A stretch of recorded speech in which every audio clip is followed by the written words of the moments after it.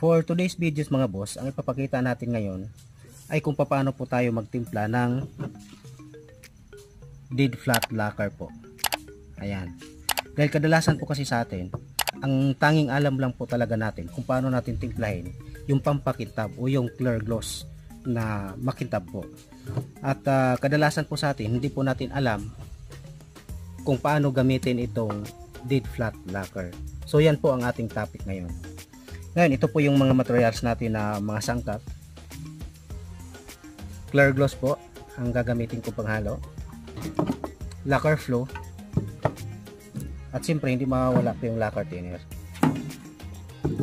Tapos meron po tayong uh, camel brush po. Ayan. At pang sikwat po natin, pambukas. Panghalo po natin yung stick. At dito po natin ilalagay yung ating ihalo So dalawa po ang haluin natin ngayon. Ang haluin po natin ay semi-gloss at yung flat po na finish. So gagamitan po natin ng panukat ito po o kaya ito po.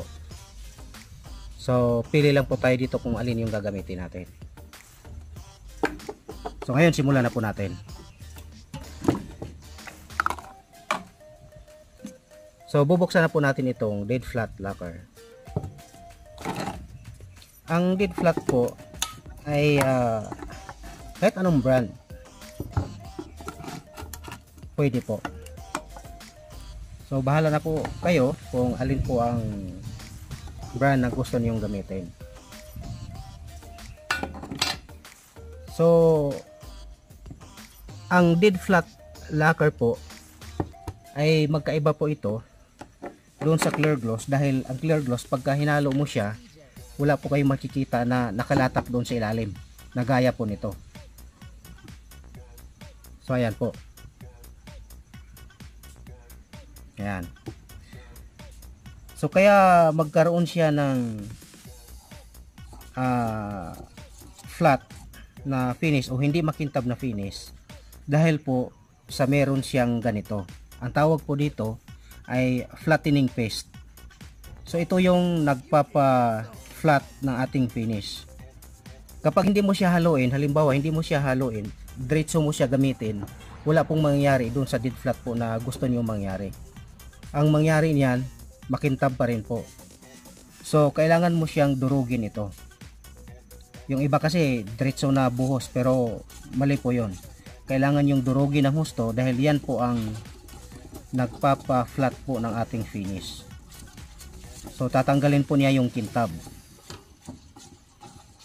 dahil alam naman po natin na hindi po sa lahat ng panahon na ang finish ng ating trabaho ay puro makintab. So mayroon din pong mga trabaho natin sa mga furniture o maging sa mga pinto o cabinet uh, meron din pong finish na hindi po kailangan na makintab. So dead flat po. Marami pong nagtatanong sa akin kung paano daw paano daw ba uh, gawin yung hindi po makintab So, pwede nating sabihin, okay, gamitan mo ng dead flat. Pero hindi po ganon kadali. Kailangan nyo pong haluan ng mga sangkap kagaya ng pinakita ko sa inyo kaganina para po maging matibay ang trabaho. Dahil kapag ito lang po yung gagamitin natin, lagyan po natin ng lacquer flow yan, lalagyan po natin ng lacquer, lacquer thinner, uh, wala pong tibay ang inyong trabaho. Ang mangyari po niyan mamumuti yung inyong trabaho at sobrang putla po niya o sobrang flat po niya dahilan para magbitak-bitak katagalan pag nakit pagka napansin yung mga ilang araw pa lang po kaya linggo wala na. Namumuti na yung trabaho at nagbibitak-bitak. So dahil po yan sa flattening paste na hinalo. Kaya dapat dagdagan po natin ito ng tibay ayan. Ang pagdagdag po dito uh, dalawa lang po ang ginagamit ko kadalasan. Pero pag ako ay nag finish na po top coat uh, clear gloss po talaga ang ginagamit ko. Kaya water white clear. So ganito po. Pero pagka yung isang mano pa lang okay lang kung ma pang maramihan uh, okay lang kung gamitan mo ng sanding sealer. Pero pag nag top coat na po kayo talaga ng pang last na dapat purong clear gloss na water white clear. Or mas maganda po kung puro talaga clear gloss ang ihalo mo water white clear hindi standing sealer. Para mas malinaw po ang resulta. So haluin nyo lang ng husto kagaya sa ginawa ko. Dahil pag hindi nyo hinalo ng husto at hindi nadudurog yung flattening paste at hindi po maayos na pagka mix ay hindi po maganda ang resulta ayan. So ang unahin po natin ay kung paano po natin gawin yung uh, tinatawag po na flat o yung dead flat. Ayan po. Tapos isusunod na po natin yung semi po yung semi uh, dead flat. Hindi siya semi gloss semi siya flat. So may maninag ka ng kaunti na uh, kintab. So ayan na po nahalo na po natin. Ngayon bubuksan po natin ang so set aside muna natin. Ito naman yung clear gloss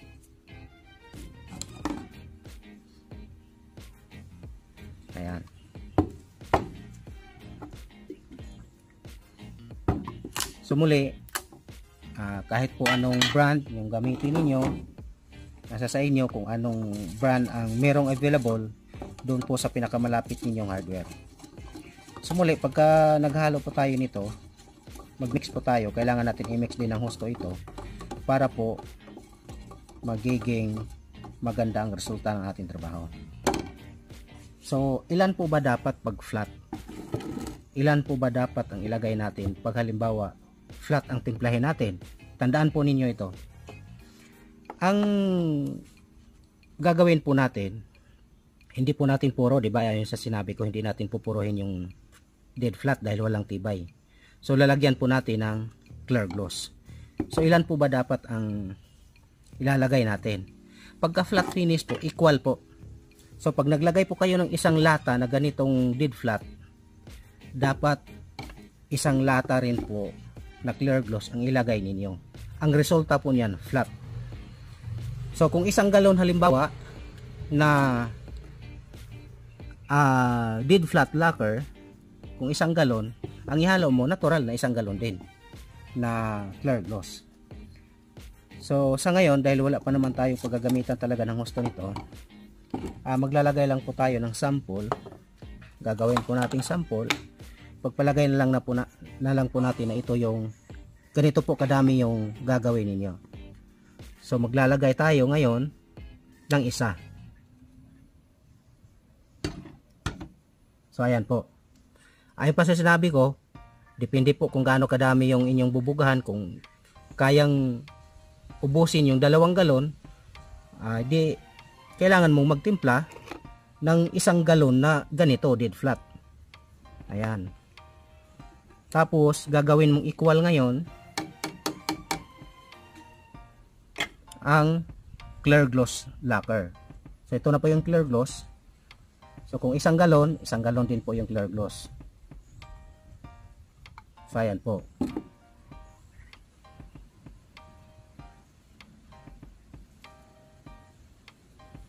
Ayan. Sa ganitong paraan, magiging matibay ang ating dead flat na finish. So, hindi po siya magkaroon ng puti, hindi po mamumuti, hindi po magbibitak-bitak. Tapos, siyempre, hahaluan po natin ang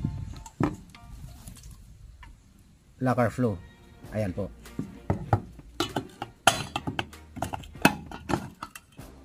So, ang kanilang instruction dito sa uh, flow na ito 1 to 3% lang po ang ihalo mo kapag sanding sealer. Pero pag nag top coat na po kayo, kagaya po nito dahil ginagamit po ito sa top coat, itong dead flat na ito, ang kanilang instruction 3 to 10% na lacquer flow. So napakaliit lang po na kuan na porsyento ang ihahalo mo ngayon.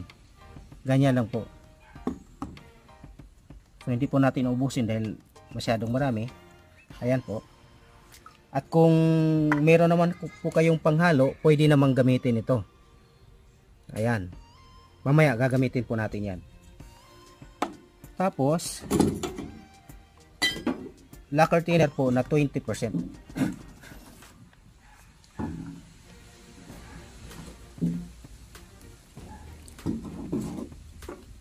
So ulitin ko lang po uh, ang dead flat equal po sa itong dead flat ko equal po dito sa clear gloss. So 1 is to 1 tapos yung ating uh, yung ating lacquer flow dahil pang finish na po siya kailangan po nating uh, haluan ng uh, pinakamarami na yung 10% na lacquer flow at yung lacquer thinner na 20%. So ayan po. Ito na po ngayon yung flat, yung hindi po makintab.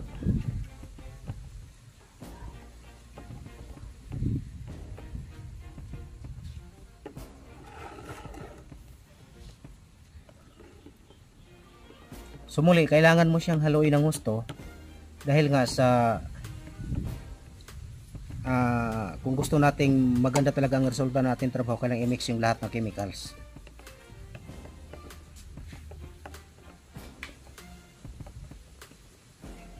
so lalo na sa mga furniture talagang ginagawa ito dahil pang antique finish. Ang kadalasan po kasi sa mga antique kung hindi po gloss flat talaga. Ayan. So ayan na po. Nahalo na po natin. Ngayon uh, ipapahid po natin yan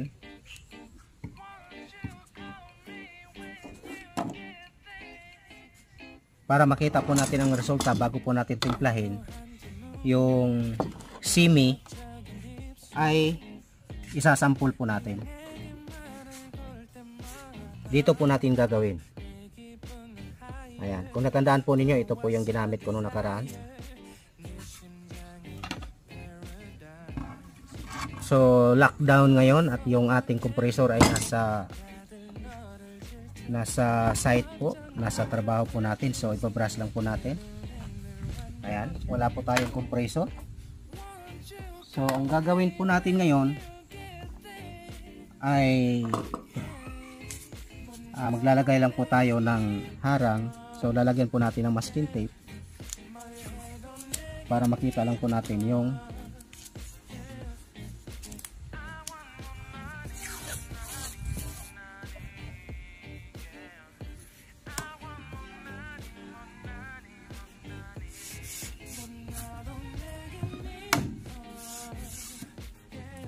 So ayan po. Ngayon ipupunas na po natin.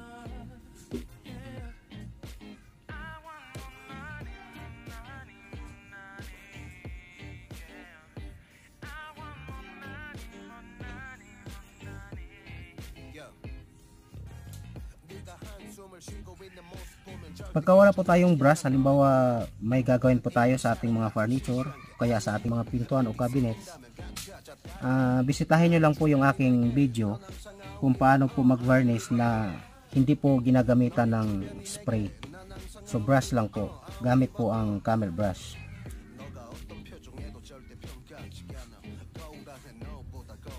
So ayan po.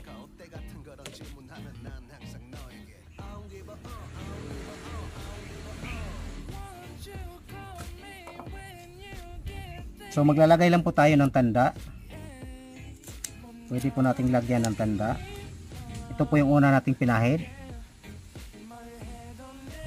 So ilalagay lang po natin yan dyan.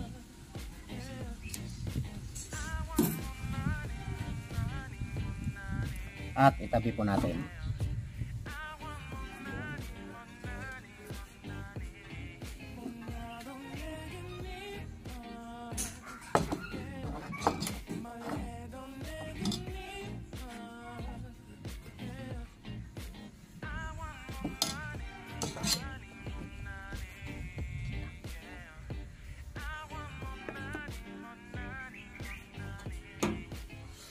So ngayon, uh, dito na lang po natin timplahin itong flat na ito. Gagawin po nating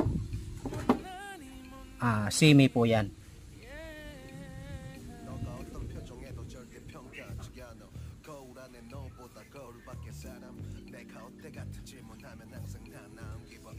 So dahil sa nagdagdag po tayo ng clear gloss, natural magdagdag rin po tayo ng lacquer flow. At lacquer thinner.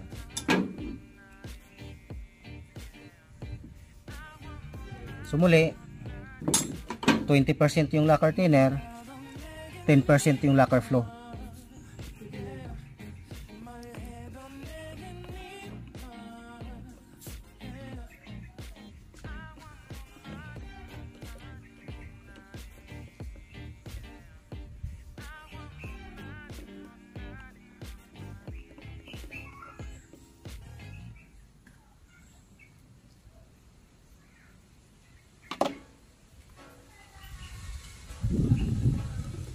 Ngayon, ipupunas na po natin.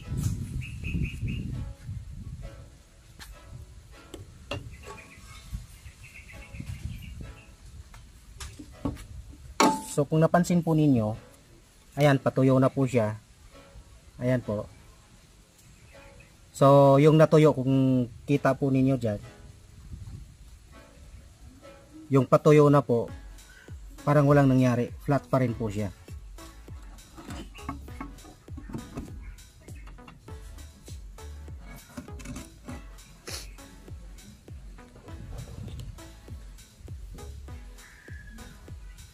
So ngayon ilalagay na po natin yung ating simi. Hindi po ito simi gloss ha, simi flat po ito. So kapag gusto ninyo simi gloss, tatlo po ang ilagay ninyong clear gloss sa isang dead flat. Pag semi gloss. Kapag semi flat, dalawa lang po ang ilagay ninyong clear gloss sa isang dead flat. So malinaw po yan. At hindi po magbabago yung lacquer flow at lacquer thinner kung gaano kadami. So maintain lang po kayo sa pinakamarami na yung 10%. Ayan.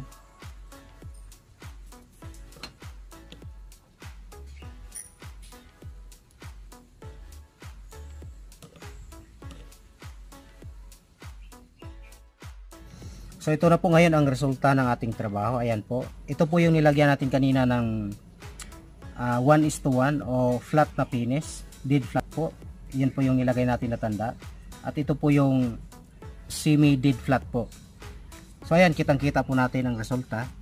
Dito masyado pong maputla, masyado pong flat. At dito may, may maaninag po kayo na kintab na kaunti. So maaring hindi po ninyo gaanong makita pero kapag ginawa po ninyo ito at sundin po ninyo yung ating uh, ginawang pagtimpla, uh, makikita niyo po yung kaibahan. So natural na magkaiba po dito dahil nga sa dinagdagan po natin ito ng isa pang clear gloss lacquer. So mas pinakintab natin ng kaunti. Samantalang, samantalang ito, uh, 1 is to 1, tapos ito 1 is to 2. So hindi na lang po natin gagamitin ito, itong ating uh, pang sukat po. Dahil uh, ganun din naman. Pagka halimbawa ang palabasin po natin uh, semi gloss dahil ito flat semi flat tapos gagawin natin yung isa pang semi gloss uh, magdadagdag lang din, lang din tayo dito ng clear din na isa. So ang mangyayari pagka semi gloss tatlo po ang clear gloss isa ang dead flat. Pag semi flat dalawa lang po ang clear gloss isa ang flat pag flat na finish o dead flat 1 is to 1 so linawin ko lang po dahil doon nga sa isang video ko sa kung paano po magtimpla na ginamit ko po ito. Uh, marami pong meron hindi man marami meron pong nag uh, comment na sobra daw po yung nilagay ko.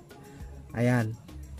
Uh, linawin ko lang po ang nasa instruction po kasi ng Boysen uh, nasa 1 is to 1 hanggang 3 lang percent ang lacquer flow. So kunwari kung ito yung 100, ito yung 30, 20. So ang kalahati ng 20 is 10. Ayan po. halos dito lang po siya yung 1%. At yung nagsasabi po na masyado na daw pong marami yan, ah, kung tayo po ay pintor at kung tayo po talaga ay sanay sa varnish, eh ito po ba sa palagay niyo kung ang kung ang inyong varnish hanggang dito, nandito yung lacquer flow, nandito yung lacquer flow, mas mababa pa dito dahil 1, 1 hanggang 3% lang eh. Masasabi ba ninyong sobrang dami na yan? No, kung tutusin nga, buhos nga lang ng buhos pagka nagtimpla ng lacquer flow eh. O, di ba? So, malalaman ninyo yan sa inyong pagtimpla kung sumubra kapag nag-spray po kayo at nagpapawis yung inyong inisprayhan o magtubig o namumuti pagkatapos po mag-spray. Yan po ay kulang sa flow. So, pag dinagdagan ninyo yan, sinisigurado ko po sa inyo, hindi na po 3% ang nilagay ninyo doon. Doon sa inyong sanding sealer. So, nasa yung sobra? 'Di ba? Magdepende po 'yan. Marami pong marami pong salamat sa inyo sa inyong pagpanood na may ah, may natutunan po kayo dito sa ating ginagawa ngayon. Ulitin ko lang po, ah, panoorin po niyo ng ng mabuti yung aking video at pakinggan niyo ng husto yung aking paliwanag nang sa ganun ma makuha po natin at maintindihan po natin. So kung kayo po ay ah, bago lang po sa aking channel, ah, welcome na welcome po kayo mga boss. At kung kayo po ay dati pa sa aking channel at nakapag-subscribe na, welcome back muli mga boss. Ah, sa mga hindi pa po napag-subscribe, mag-subscribe na po kayo with notification bell po para ma-update po kayo kung ano man yung gagawin po natin dito po sa ating channel. At mag-iwan po kayo ng, ng like kung ito po yung nagustuhan ninyo. Maraming salamat.